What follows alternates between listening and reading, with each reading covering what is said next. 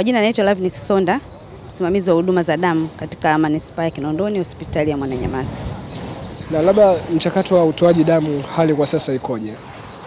Kwa msimu huu wa kipindi cha korona kidogo huko chini sana, lakini kwa huko nyuma at least ilikuwa nafuu, kwa sababu watu walishaanza kuelewa umuhimu wa damu. Na zoezi ambalo mnafanya leo, hali ya watu kujitokeza ikoje? Kulingana na eneo halisi ambalo tunakusanya damu, zoezi si baya, kwa sababu frequently watu wanakuja mmoja mmoja, ingawa sio kwa makundi, lakini hakuna muda ambao tumekaa bila kuwa na mtu. Kupata unit mia ilikuwa ni nzuri zaidi. Hadi sasa hivi mna unit ngapi? Tuna unit kama 23 mpaka sasa hivi. Na labda pengine nini hasa ambacho kinasababisha watu wengi wasipende kujitokeza katika uchangiaji wa damu? Hofu ya kupokea majibu, hilo ndio tatizo kubwa. Kila mtu ana moyo, anawiwa kukusanya damu, lakini akifikiria kwamba kwenye kusanyo la damu kuna majibu ya maambukizi ya virusi vya ukimwi, kwa hiyo bado watu wanaogopa maambukizi ya virusi vya ukimwi kuwa na majibu yake. Ni elimu, tunajitahidi kutoa elimu na umuhimu wa mtu kujitambua afya yake. Sio lazima uwe unachangia damu tu, hata kama hauchangii damu, lakini ukipata elimu ya afya yako inakusaidia, kwa sababu hata kama mtu akija tukimjua kwamba ana maambukizi, hatumtelekezi. Kuna huduma mbadala anapata kutokana na yale majibu yake atakayokuwa nayo, kwa sababu kwenye damu tunaangalia virusi vya ukimwi, homa za ini, kaswende, malaria pamoja na maambukizi mengine yanayotokana kwa njia ya damu. Kwa hiyo faida kubwa anaipata mtu anapochangia damu kupata majibu ya vitu vyote hivyo bila gharama yoyote. Mimi naitwa Ahmed Malima Nyambibo, mwenyekiti wa kamati ya afya zahanati ya Madale. Hali ya uchangiaji wa damu kwa maeneo ya Madale na jamii nzima ambayo inazunguka maeneo haya ikoje? E, hali ya uchangiaji wa damu salama e, kwa kweli ni mzuri,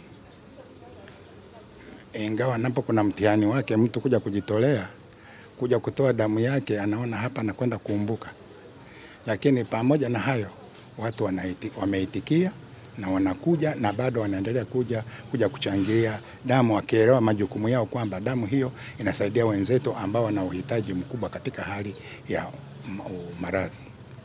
Na labda pengine ushiriki wenu katika hamasa ya kuondoa watu hofu na kuaminisha kwamba waje wachangie damu kwa ajili ya uh, matumizi uh, ya watu mbalimbali pengine wanapopatwa na matatizo, inakuwaje kwenu kwa upande wenu? Ya, kwa kuwa tulikuwa tumepata taarifa hizi muda kidogo hapo nyuma, tumefanya utaratibu wa kuweza kuhamasisha jira, majirani wote ambao wako karibu na mbali kidogo, ili kuja kujumuika katika siku hii ya leo kuja kuchangia damu salama. Kwa majina naitwa Angela Seti. Mimi ndo ambaye nimehamasisha watu kuja kuchangia damu hapa kwenye zahanati ya Madale. Kuna baadhi ya changamoto mbili tatu ambazo nimekutana nazo, lakini nashukuru Mungu watu wame, wamejitolea wamefika, na wengine wanaendelea kuja kama mnavyoona. Ni, nilitumia wiki tatu kuhamasisha watu idadi ambayo me, mpaka sasa hivi wamejitokeza, sijaenda kuangalia pale kwenye daftari, lakini nawishi kwamba tayari wameshafika thelathini na kitu.